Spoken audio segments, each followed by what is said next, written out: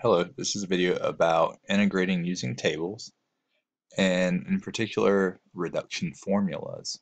What a reduction formula is, is if you look at any integration formula in the table, if you apply an integration formula and the formula itself has an integral within it, that's what is called a reduction formula. So we'll have to use formulas from the tables multiple times for these examples.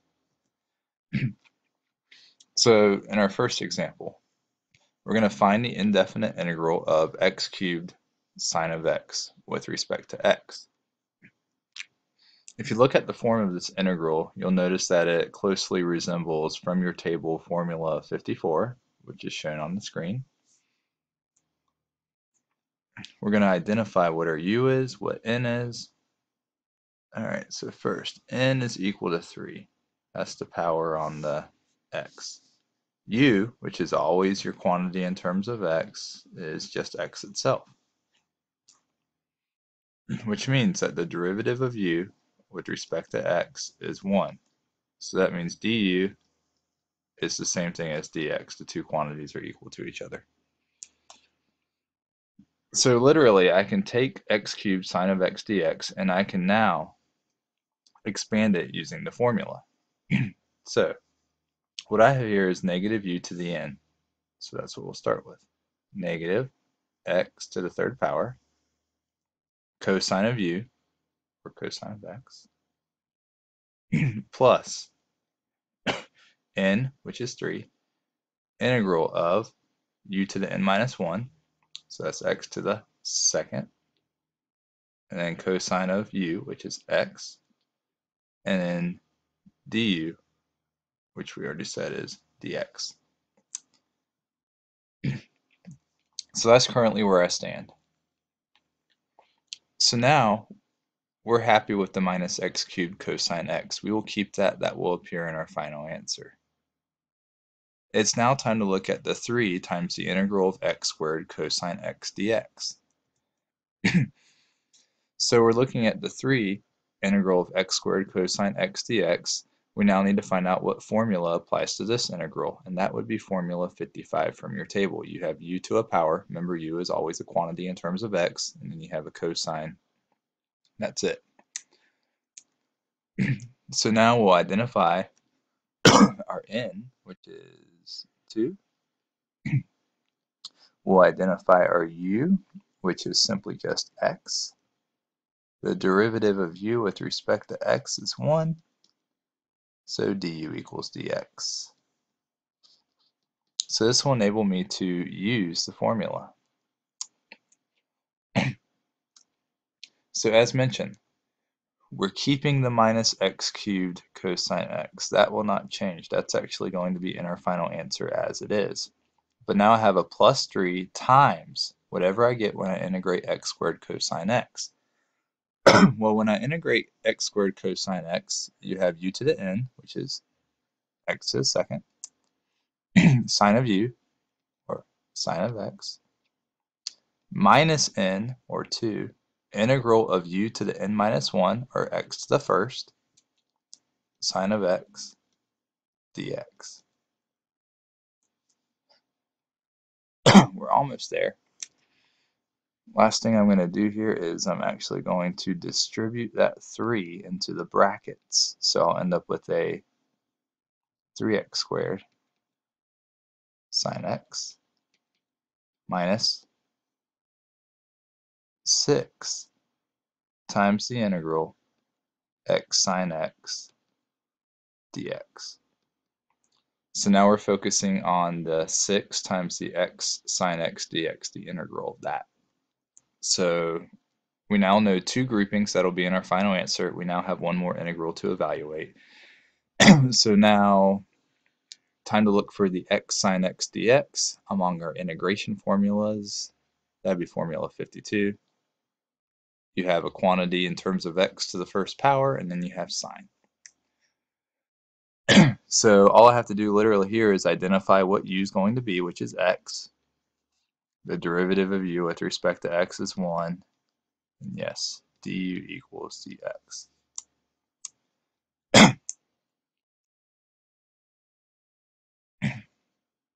So we'll keep our first two groupings as they are, that is final answer material.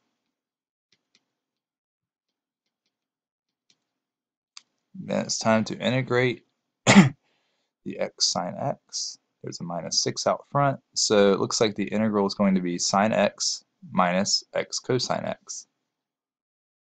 So sine x minus x cosine x.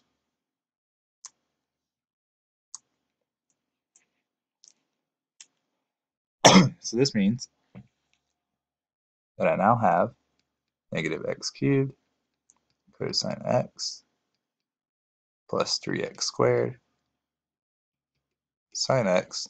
Distributing the minus 6 gives you a minus 6 sine x.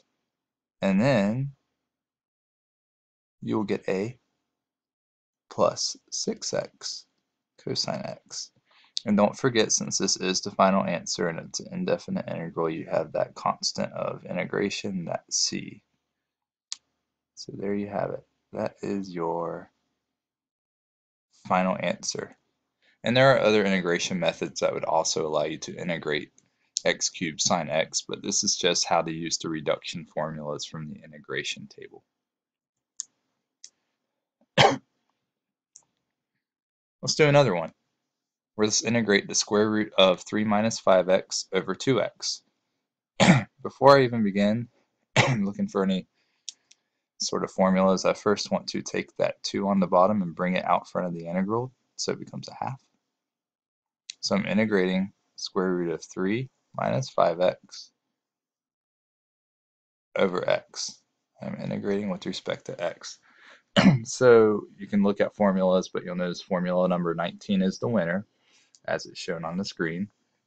Your a, which is your constant term, is 3.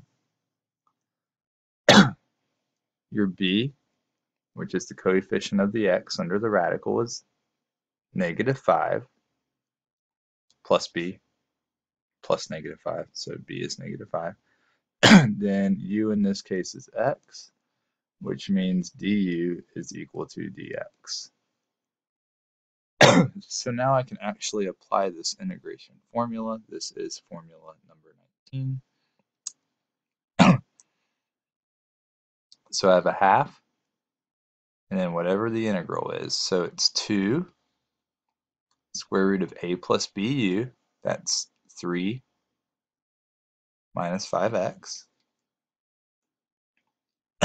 plus a, which is 3, integral of 1 over x square root of a plus bu again, or 3 minus 5x.